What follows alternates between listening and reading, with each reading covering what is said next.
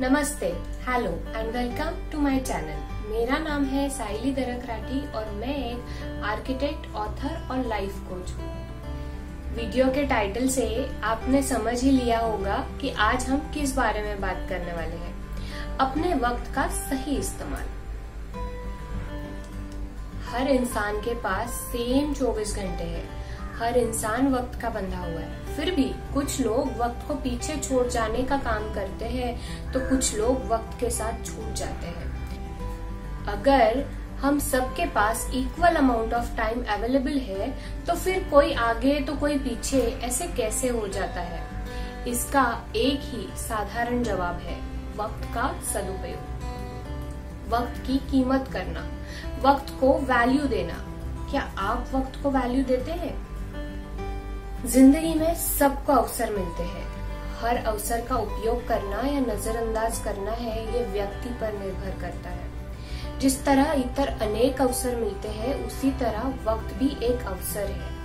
आज हमारे पास कीमती वक्त उपलब्ध है।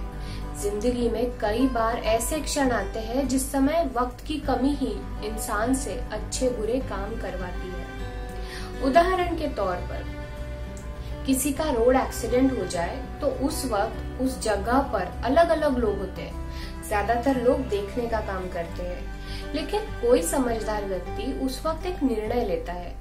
जिसके साथ दुर्घटना हुई है, उसे अस्पताल लेकर जाना या उसका प्रथम उपचार करना, इस तरह का काम करता है। अब इस उदाहरण में सभी लोगों का वक्त समान था। सभी लोगों की अवस्था भी समान थी। पर वक्त का सही उपयोग और समय सूचकता दिखाने का काम बहुत कम व्यक्ति कर पाए। इसी तरह जीवन में भी ज़्यादातर लोग सिर्फ़ अनुभव करने का काम करते हैं। बहुत कम होते हैं जो सही में कुछ कर पाते हैं। हमें अगर जीवन में कुछ करना है तो वक्त का सदुपयोग करो। यह बात तो सब जानते हैं कि पढ़ने से तरक्की होती है, फिर पढ़ते क्यों नहीं? यह बात तो सब जानते हैं कि कुछ कर देखने से सीख मिलती है तो फिर करते क्यों नहीं? यह बात तो सब जानते हैं कि वक्त सीमित है हमारे पास, फिर वक्त का सदुपयोग करते क्यों नहीं?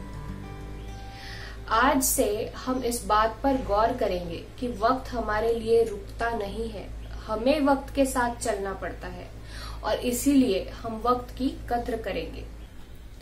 आज मुझे आपसे सिर्फ़ वक्त के बारे में बात करनी थी। अब आपका ज़्यादा वक्त नहीं जाया करूँगी, यहीं पर वीडियो समाप्त करती हूँ। पर अगर आपको मेरी बात में कुछ तथ्य लगे तो इस वीडियो को लाइक, शेयर और कमेंट ज़रूर करना। अगर आपने अब तक सब्सक्राइब नहीं किया है तो सब्सक्राइब भी ज़रूर कर लेना। मिलते हैं अगले वीडियो में, तब तक के लिए बाय